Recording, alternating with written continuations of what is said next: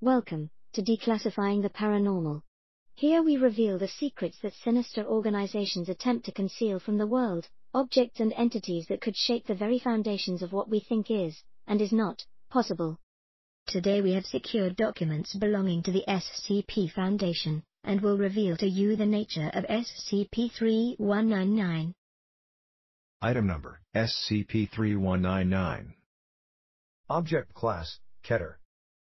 Special Containment Procedures All live instances of SCP-3199 are to be contained on Site-114 within a modified Keter humanoid containment chamber, hereby referred to as primary containment, the walls of which should be coated in approximately 2 cm thick acid-resistant steel. CCTV equipment is installed in the northeastern and southwestern corners. Two meters of empty space are to be allocated between primary and secondary containment.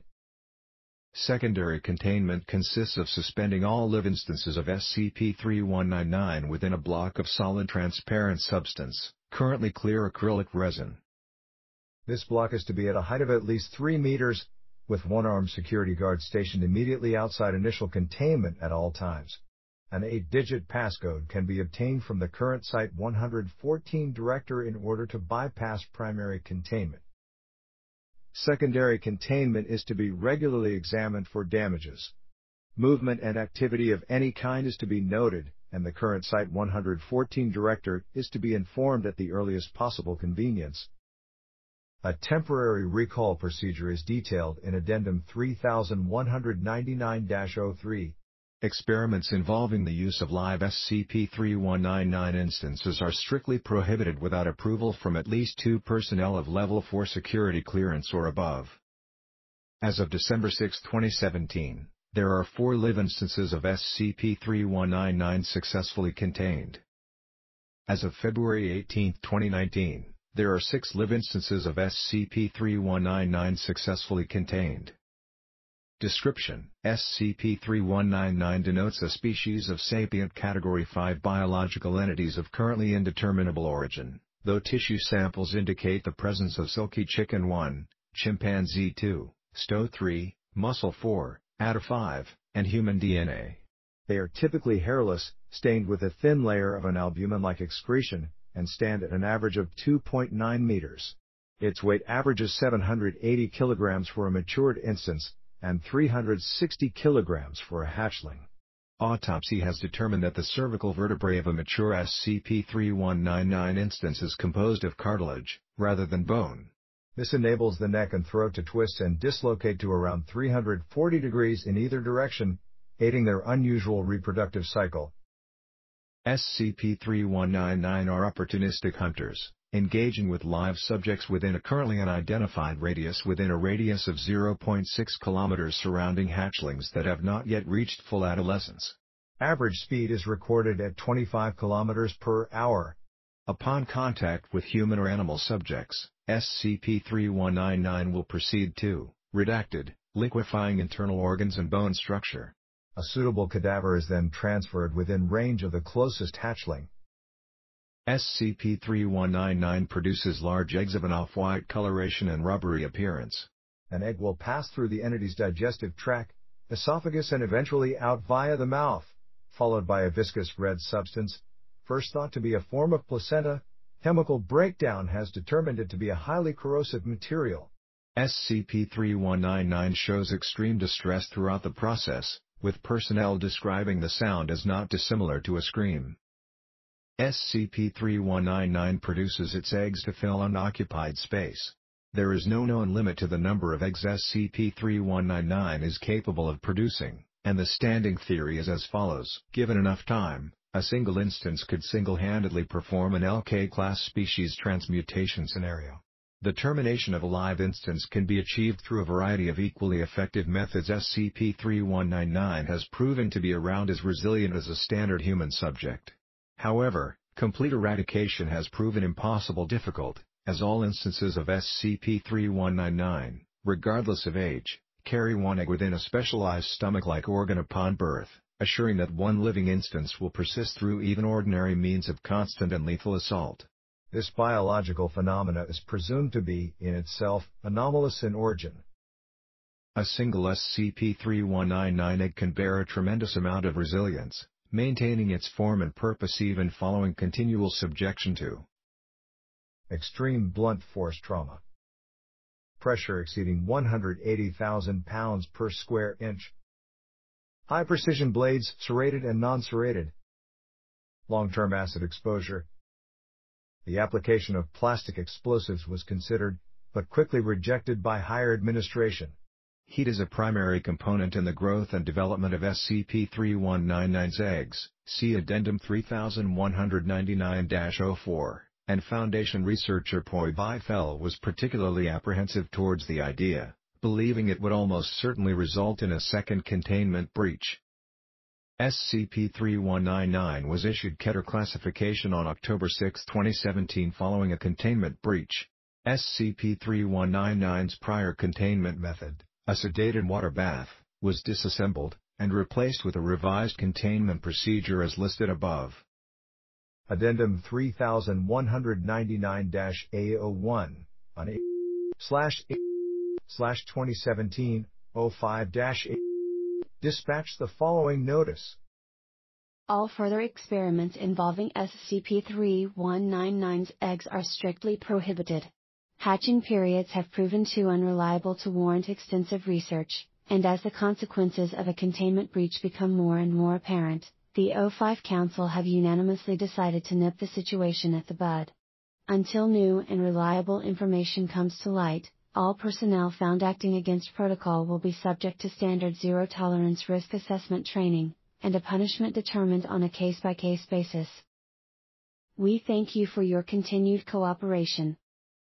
SCP-3199 was discovered in Ireland following witness reports of a bald creature crying like a banshee from within an undisclosed area of woodland. These reports resulted in the dispatchment of Mobile Task Force Omega-19, who arrived on site with a total of 12 armed personnel. Two personnel were lost in action, their internal organs and jaws having been almost entirely dissolved. During transportation, SCP-3199 produced two offspring, resulting in the deaths of a further six personnel. Addendum 3199-A02, on H, slash H, slash 2017, a thorough sweep of SCP-3199's initial recovery location was enacted in an attempt to uncover the creature's origin and purpose. Local reports suggested that the small remote residence in question had been abandoned for at least two decades, Surface Team Delta 029-E recovered several items of interest, including one bag of assorted thread and needles, in various colors and sizes. Approximately 13 chicken carcasses, based on the collective halves and quarters, with precise incisions located on the underbelly, neck, and thigh. Six of the carcasses had been plucked, with visible human teeth marks lining the bare areas at random intervals. Several containers, including water bottles and Tupperware boxes, holding an unidentified watery paste. The paste was a deep brown in color, and in the presence of oxygen it turned viscous and hard. An A5 notebook, brand, and heavily scratched with what was determined to be human fingernails. The words New Breed Manifesto are written on the front cover. Two chicken feather quills, the notebook itself consisted of 24 pages of standard lined paper, written in non-anomalous black ink. Nineteen of these pages consisted of various cuboid patterns and crude, childlike illustrations vaguely resembling SCP-3199. On the remaining five pages, large lines of writing detail the diary of an unnamed individual. Much of the written script was illegible. One extract in particular, dated 8 slash 6 slash 1973 was written with notably higher clarity. Unknown, if you're reading this, then looky lucky you. 400,000 hour from NOTW and it'll be warm and wet and warm, and the wonderful versatility vesa versatility of inferior, human DNA will birth a beater era. A stronger ear, one where illegible and food and water will be nothing but things of the past as we make and make and make more until until, illegible, Unknown. I really haven't much, Tim. Unknown. Time. Unknown. That's why I envy you so so so much. You'll have all the time you need. Time will be a thing of the time will be on and on and death will be life. Life new life needs things to live. New life will be a part of life from now on. Sick. The final page consisted of various ink blots, 13 instances of the word life in inconsistent sizes, two instances of the words want it, want I want it, sick, and the lyrics to English songwriter Frederick Weatherly's Danny Boy in Old Gaelic script. The identity of the journal's author is pending investigation. Addendum 3199-03, Protocol 34-22-B. The following procedure is to occur in the event of a Site 114 containment breach, in an effort to safely and immediately recontain live SCP-3199 instances. On-site personnel with Level 1 security clearance or above assume standard lockdown procedure and evacuate to Site 113 to await further instruction. Site 114 is to be flooded in its entirety by a clean, distilled water treated with dissolvable Class A sedatives. Surface Team Tango 306-A will be dispatched immediately to retrieve any lingering instances of SCP-3199's eggs. Any living instances of SCP-3199 will be terminated on site, and their remaining eggs will be collected. All egg samples are to be transported to temporary off-site containment within a stable water bath. Site 114 will be subsequently drained, and custodian staff will be dispatched to thoroughly clean and sanitize the grounds to a green zone foundation standard.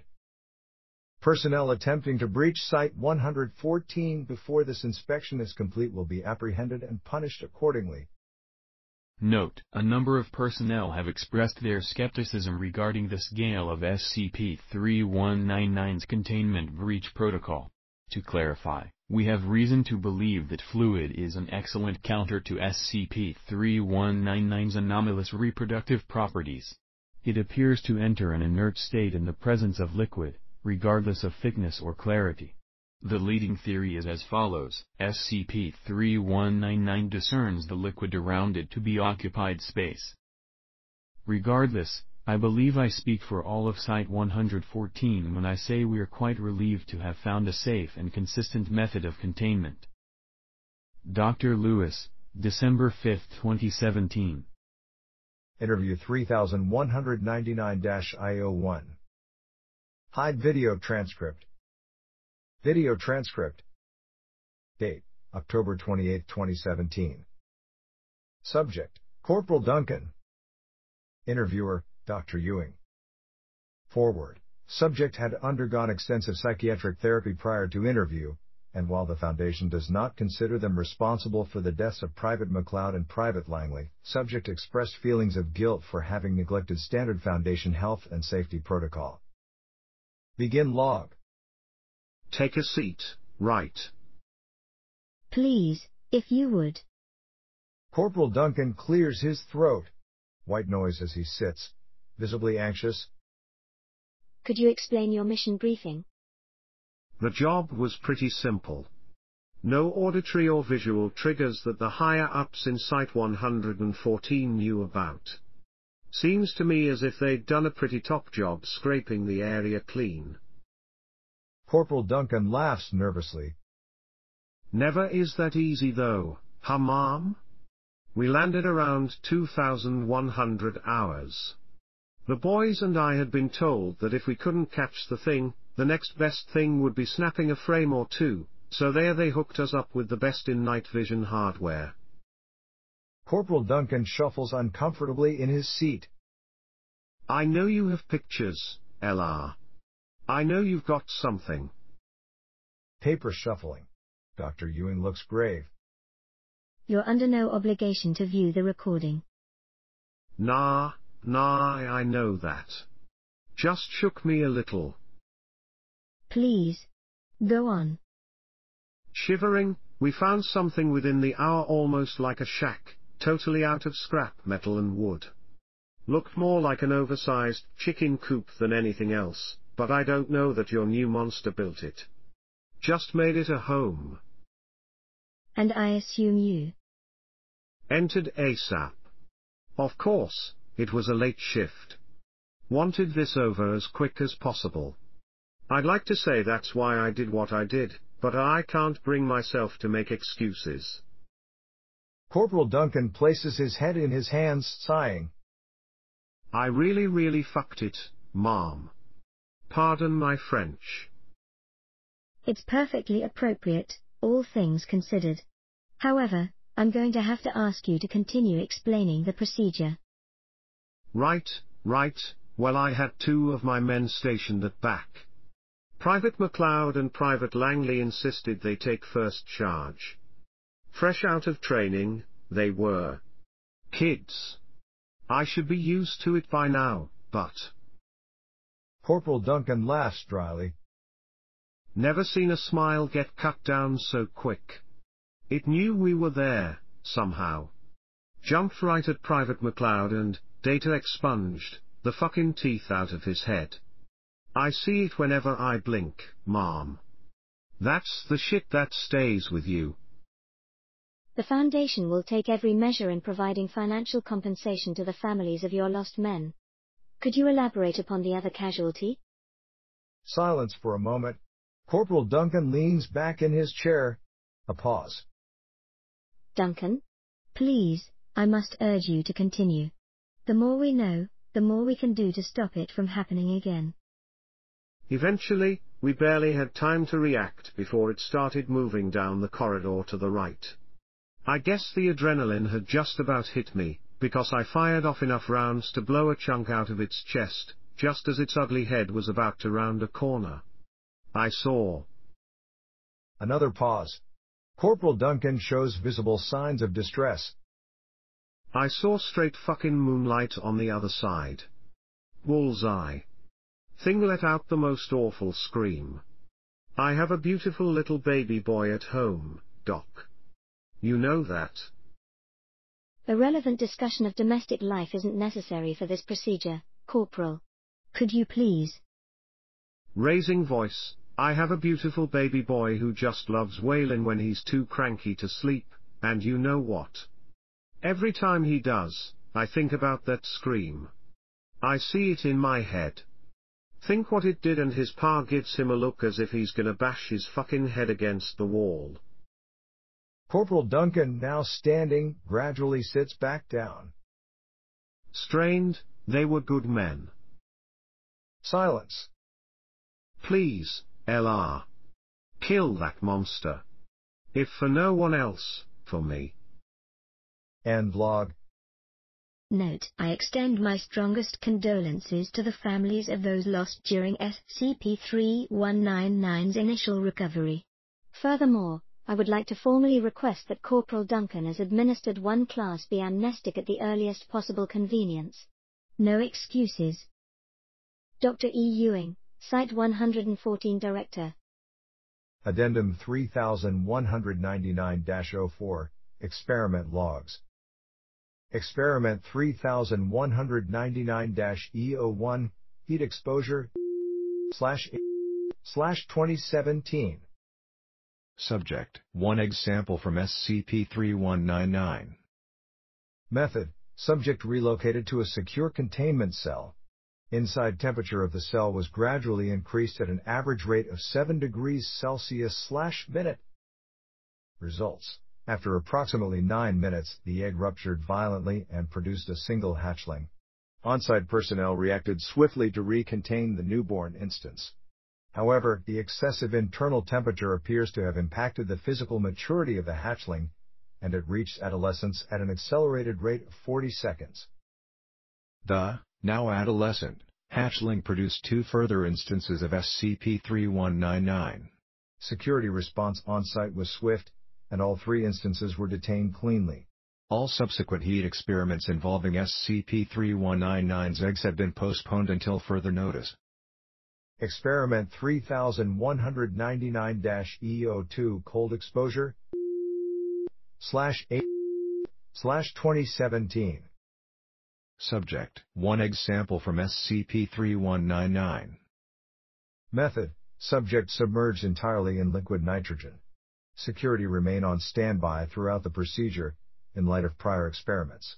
After approximately 45 minutes of exposure, SCP-3199 had reached minus 190 degrees Celsius. Following two hours of exposure, The egg was removed and placed under a hydraulic press. Results Hydraulic press peaked at pressures of around 9,000 pounds per square inch. Cracks appeared approximately 30 minutes into exposure before the sample shattered. Egg fragments were collected and furthermore pressed into a fine pulp.